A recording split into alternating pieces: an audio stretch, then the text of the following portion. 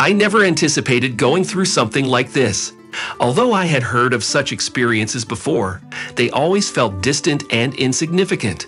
It was like observing a tiger or a lion from behind the safety of zoo bars, without any real threat of encountering them in the wild. Life is truly unpredictable, often surprising us from the most unexpected places. My wife Elena and I have been married for over 20 years. Of course, when we first met, she was not yet Elena Sergeevna, a highly experienced and accomplished teacher. We crossed paths at a dance, and it was love at first sight for me. She had beautiful blue eyes, a slender figure, and a slightly sun kissed complexion, as if she had just returned from a cruise. I pursued her relentlessly, like many other male residents of our dormitory, and often dreamed about her. But in the end, she chose me. When I proposed, she eagerly said yes and sealed it with a passionate kiss that left me speechless. Our family boat has experienced both calm waters of prosperity and tranquility, as well as storms of domestic issues and hidden reefs of misunderstandings and resentment. Just like any other family, exactly one year after our wedding, our son Dinas was born. He's now in his late teens and already thinking about starting his own family and becoming a part of society. Our careers couldn't be more different and seemingly incompatible. Alina is an esteemed English teacher at a prestigious school in the city, while I work as a metallurgist and a foreman at the Titan plant. Despite our diverse interests, we have managed to maintain a deep connection. I hold dear the memories of our initial meeting, our wedding day, and even modern celebrations like Valentine's Day. We used to exchange romantic cards and gifts to commemorate these occasions. Although there may be challenges behind closed doors, it's evident that the true demons reside not in the depths of dark waters, but rather in the captivating azure eyes of my wife. Alina is considered a top tier professional in her field, and in her spare time, she offers private tutoring to supplement our income. Due to my shifting work schedule, I am not always home, and every extra penny counts. In fact, it was thanks to our recent purchase of a Nissan on credit, a dream of ours for so long, that we realized the importance of hard work and perseverance. As someone who never owned a car before, I have grown to love it deeply, endlessly polishing and caring for it. As the saying goes, you give a child what they want. Typically, my wife would take on students from the category of high school students preparing to enter language universities in our vast country. She didn't often work with children of primary school age, preferring to communicate with their older counterparts. Her reputation in the city was excellent, and the students she trained successfully passed the admission exams in 90% of cases. After two decades of living together, I had grown accustomed to all kinds of students fashionable girls, boys with wild hairstyles, and typical teenagers. They were always present in any educational institution, so imagine my surprise when I opened the front door to the sound of the doorbell and found a tall man in his 30s standing confidently on the threshold, exuding an air of someone who knows what they want from life. Hello, Alina Sergeevna. May I? The young man asked politely. Of course you may. What can I help you with? I replied, still visibly perplexed. I will be taking English lessons from her, he replied. Clearly, he noticed the confusion on my face which no matter how hard I tried, I couldn't hide. In my opinion, it's a little late for you to be learning languages, or, as they say, it's too late to drink Borjomi, I remarked. In such cases, it's not for you to decide, Sergey. My wife whispered from somewhere behind me, commanding, Igor, come in, don't be shy. I was dumbfounded, but obediently let the guest into the apartment and closed the door behind him. My wife seemed pleased to have visitors, intentionally dressing in a skirt that flattered her curvy hips and the most beautiful blouse from her collection, with a deep neckline that drew the attention of any male gaze. I had forbidden her from wearing that outfit, but since we were at home, I silently swallowed my resentment and retreated to my room.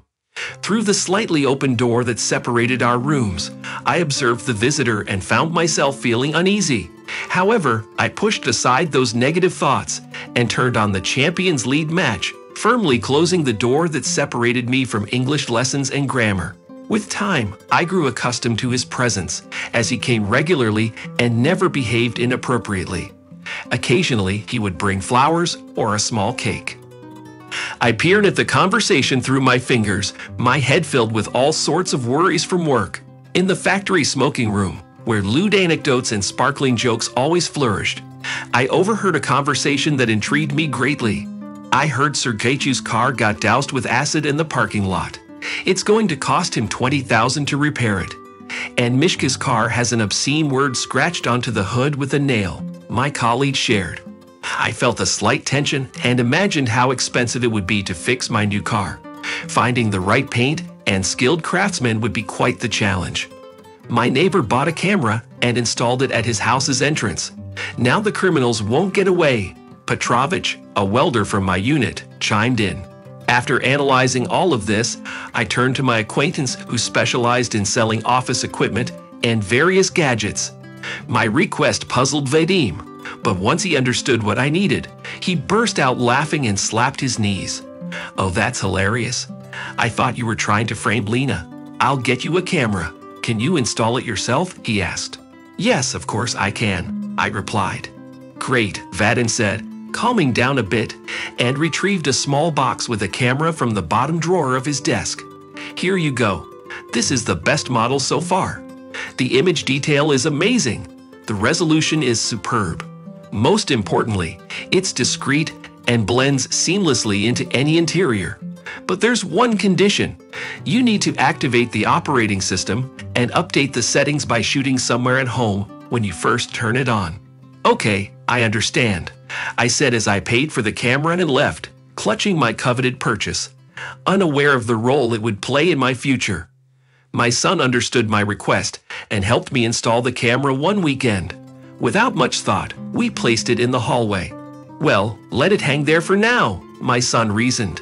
We can hang it in the driveway soon so you can keep an eye on your beloved car. And so, the camera remained hidden in the hallway. Soon, I had a visit to the shop from higher ups for an inspection, and I completely forgot about the camera and its recording. It wasn't until the paperwork and protocol scrutiny subsided and the threat of dismissal had passed that I regained my senses. On a Saturday night, my son and daughter in law came over to our house, and we finally decided to check the camera. Let's see what's going on. My son said with a hint of excitement. Yeah, why not? I replied. Suddenly, I caught a glimpse of unease in my daughter in law's face, poorly concealed and filled with anxiety. It happened to her once when she accidentally threw my pants containing my passport into the washing machine. However, I now kept the important document in a more secure place. That's why I was confused. I managed to display the camera's image on the TV in the living room, which was my pride and favorite possession in the apartment. As expected, the footage was not interesting.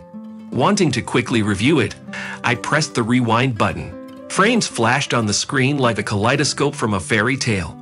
And then, unexpectedly, among the ordinary scenes, I saw something that made me tense up and filled me with anger. In the video, my wife came home, followed by a much younger man named Igor.